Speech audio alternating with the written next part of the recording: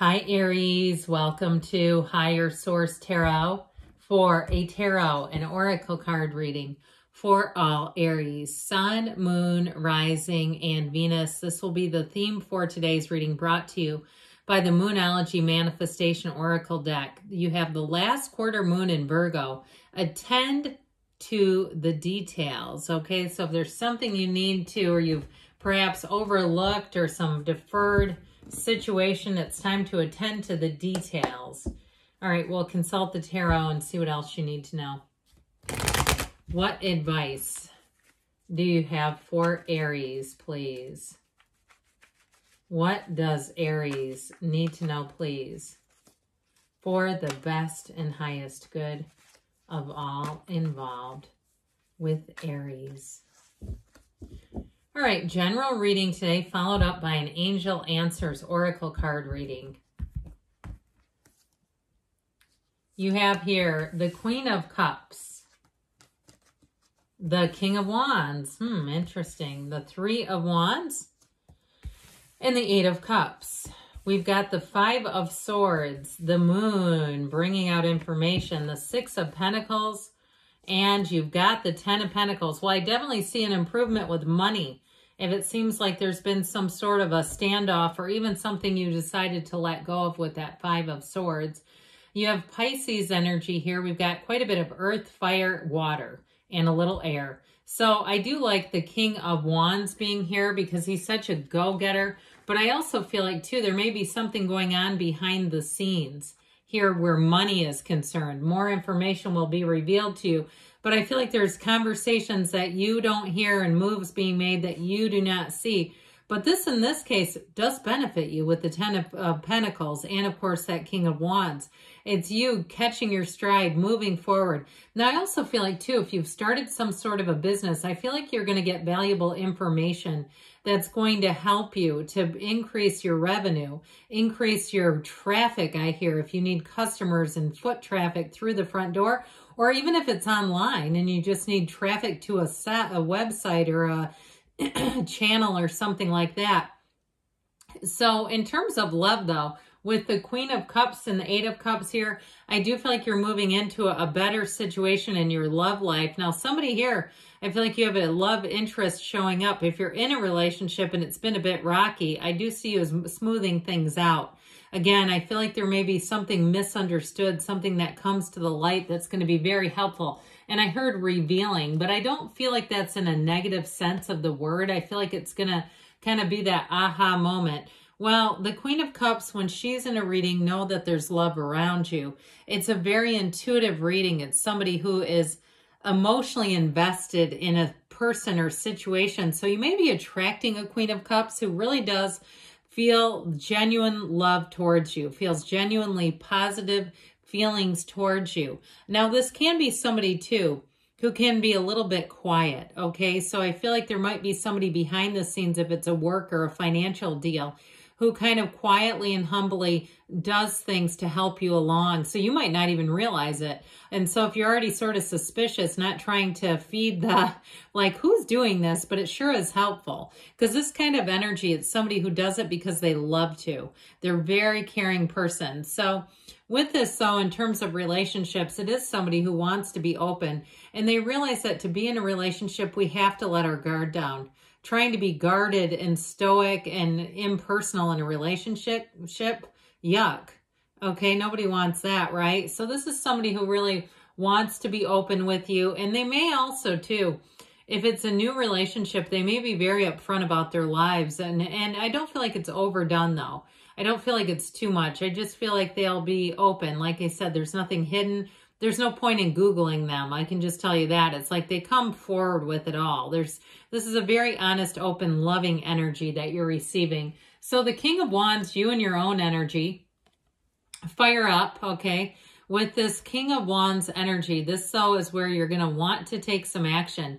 You have it with the Three of Wands as well. I also feel like, too, for somebody, if you're cleaning things out, or even if you're doing something where you go away like if you have a, a cottage or something and you have an opportunity to rent your house, I know it sounds a little strange, but I feel like somebody here is going to capitalize. They're making they're they're making the best out of their financial situation and doing it in a very creative way, I might add. Now, if it is again something where you're selling things, I do feel like remember attend to the details. I feel like somebody here it's important too to if you're doing something like consignment or something where someone else has got their hand in it too, getting an itemized receipt. There's something about that I feel like in this in this energy too You'll be quite savvy about that. You'll be quite a savvy bookkeeper, especially too if you say, that is not my thing. I just find it boring. You're going to surprise yourself. Now, the King of Wands energy, too, you're going to find that people are attracted to you with this. You've got great loyalty here. If there are any financial issues, I feel like they're more mistakes than it's not anything somebody's intentionally trying to do to you. Or if somebody owes you money, too, they might need a gentle nudge and reminder. There's something about that that I feel like is a bit overdue. I keep getting that energy. But overall, the King of Wands will be having you feel strong. And so when this one comes in, know that you'll have your charming energy up on high. People will want to talk to you. And they might find, you might find too, that they enjoy your assertiveness and this energy, but be careful not to make people or allow people to make you be their assertive energy in every situation because you have you're a multifaceted person in a multifaceted sign that it's not always just I'm in charge. So with this three of wands, you may be in charge. You are looking at options. Now the three of wands is also your ships coming in. So I do feel like the wait is over. I also feel like you have an apology showing up here and it might have been a long darn time coming is how it feels. But I also feel like too, it's almost in a way, uh, it's like it's an apology and it's fine, it's acceptable. But I feel like you've moved on to other things. So it may be somebody from quite a while ago where it's like, this is fine. I'll allow them their time to, you know, speak their piece and let it go. But I just feel like it's, you've already moved on is how I get it. Like you're already on to new and other things. So even if it's a job situation and they try to come back, I feel like you've already, you're moving on to attend to the details. You're not looking back, you're looking forward. You have it here too, when you start to see cards with their back turned, they're not coming back around, they're moving on. And so you have that a couple of times here, both of whom are wearing the red robe of desire. So you're following your dreams. This Eight of Cups energy, the hero's journey, has you moving in your life's purpose, your life path. So if you do something too where we talked about starting some kind of business or even where you are available to work for yourself, I feel like you may have an opportunity to return to some kind of a situation, but I feel like they need you more than you need them. You're in the place here where you're in flow. There's nothing hidden here. There's nothing scary here. And what is hidden is coming out into the light. You have an illumination showing up. You have a new cycle beginning here. And so I feel like, too, you're moving on to people, too, that you are going to be able to trust easily. And I just don't see you having conflict. I feel like you're coming into a cycle that's going to be balanced. And so the Five of Swords shows something that I feel like has already happened here. With this Five of Swords, there is some sort of conflict. Again, there's more characters with their back turned multiple times here where it's like, yeah, I don't really want to deal with that. I'm just not involved in, interested in being invested in that. And so, like I said, I feel like there's somebody who wants to come back and apologize. And like I like we were talking about, is someone that you'll entertain them, give them some airtime. But I don't think it really changes much. That's just how I get it. I also feel though this is a card too where they kind of give you some caution not to get in that path again, get caught up in that nonsense again. And sometimes it does come out of nowhere. It's a curveball you don't see coming. And maybe somebody's having a bad day and that's how it was and it just kind of got a hold of you. But I do feel like with this, you're not really here to pick up the other end of the rope and start pulling. So this moon energy, you take one step, the universe takes two. You're moving forward with this. Now, you have somebody here. They keep popping into the reading who does keep tabs on you. They still keep tabs on you. They're still in watch. And so if you did have a falling out, know this person does want to make things right. And I just feel like it gets as good as it gets. I mean, that's just how it is. So with this moon energy, you have here a new cycle that begins. There's an emergence here. There's change here. Those hidden aspects that we talked about. I do feel like with this, it has more to do with a job or money, or even someone that you had a bit of a falling out with. The moon energy will reveal some things that I do feel like makes everything go better. Now, we talked about too, uh, a love relationship. In, th in this case, I don't feel like it's particularly connected with the moon in terms of hidden aspects, but it also, too, might be the cycle of the moon delivering someone. You've got gifts coming in.